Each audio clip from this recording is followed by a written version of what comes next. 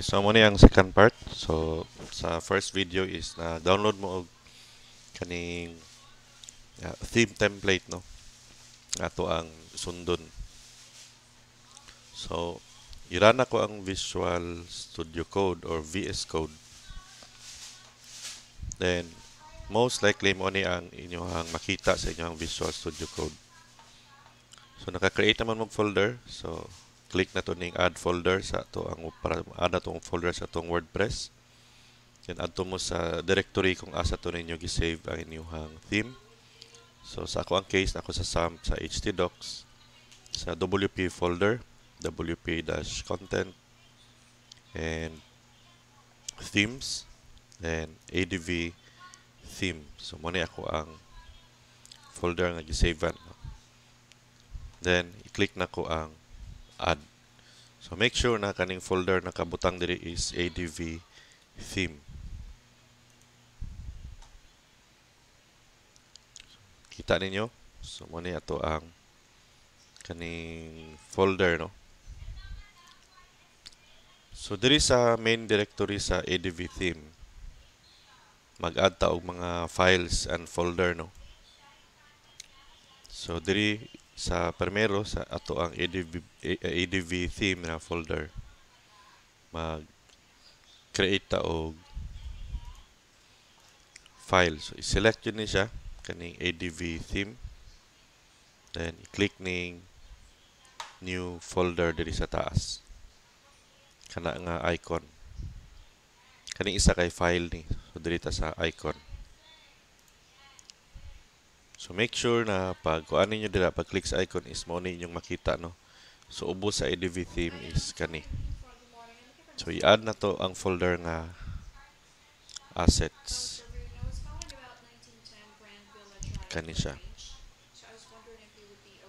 Then press enter. Click na po ning ADV theme. Then add tag another uh, folder.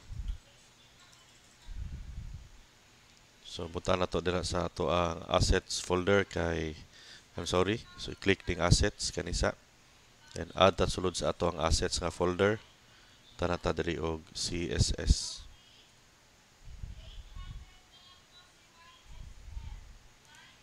So same gihapon na folder sa assets. Mag-add ta og fonts. Then next natong i-add nga folder sulod sa assets. Kay images. The next last one is ang JS so ang purma sa imuhang assets nga folder is ingon ani no? Kani siya. So ako sa ning i-collapse si theme dash template. Next ani is mag-add ta classes nga folder diri sa atong ADV theme. So click na siya, then classes. So most likely ang mga PHP files ibutang na to diri sa ato ang classes nga folder. Then mag-add gyapon ta sa ADV theme gyapon na main directory or main folder na to. So add ta og inc. So para na sa mga include files nga gamito na to sa ato ang uh, customized nga theme. No? Then, sa root directory gihapon sa ADV theme, add ta og template dash parts nga folder. Then, gihapon sa ADV theme, add ta diri og templates na folder. So, muni ang uh, dagway sa inyohang ADV theme, no? Nakay assets, classes, INC, template parts, templates. Then katong gikopy na to na folder sa previous na video. So natay pinaka-importante nga duha ka files mag-create og uh, theme sa WordPress. Uh, kani siya si uh, style.css og si index.php. And and the other directories mga kuan na to sila supplemental nga uh, other files is mga supplemental na to sila nga files no. So, ang pinaka-importante si style o si index.php. Style.css o si index.php. First is mag-create ta og file under gyapon sa ato ang root directory sa ADV theme. I-click ning icon diri new file. So mag-create ta og 404.php. So kaning 404.php para ni siya in case na walay dili maka-connect ang imuhang kaning sa ni theme or site no sa imuhang server. So next na tong i-add nga file is archive.php. So para ni siya sa ato ang mga articles no. Uh, hierarchy of articles or list sa ato ang articles. Next is kaning comments.php. So ni siya ang responsible sa pag-store sa mga comments no o pag-delete or update sa mga comments. Next is natay footer.php.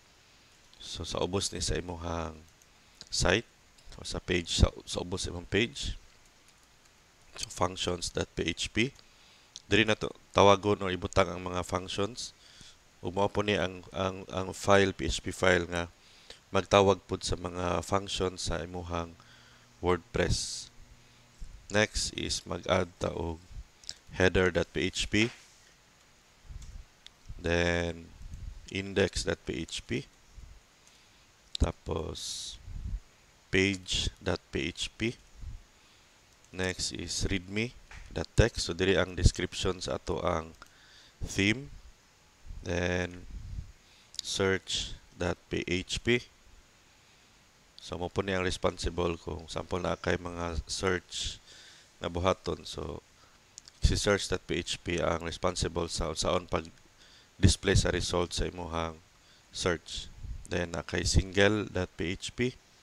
So sa mga single post no. So say dagway ni ni post no si single.php. Then style.css.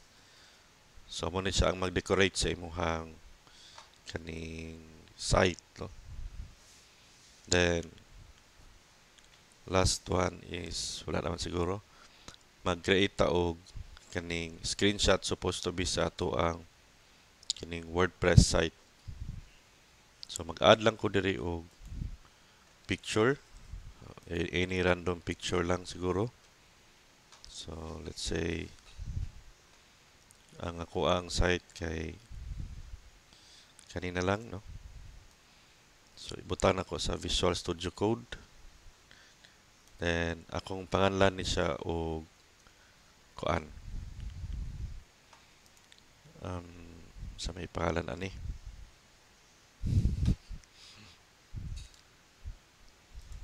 So butang tag screenshot na lang no. Screenshot.jpg. Ako lang butang PNG. Same naman na sila compression. Yan, save na ko akong work no. Tapos mora to siya.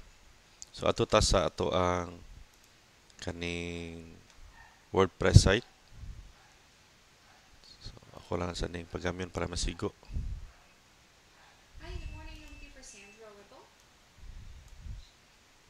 Diri sa to ang WordPress site sa localhost About a property at 1601. Wp dash admin A property at 1601. so login credentials nako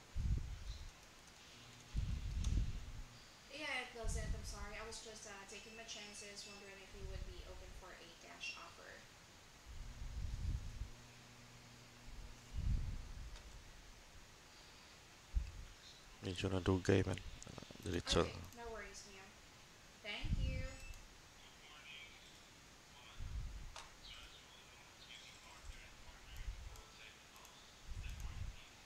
Okay, asa ko na WP admin so amo na ni siya so dirita sa ato ang appearance.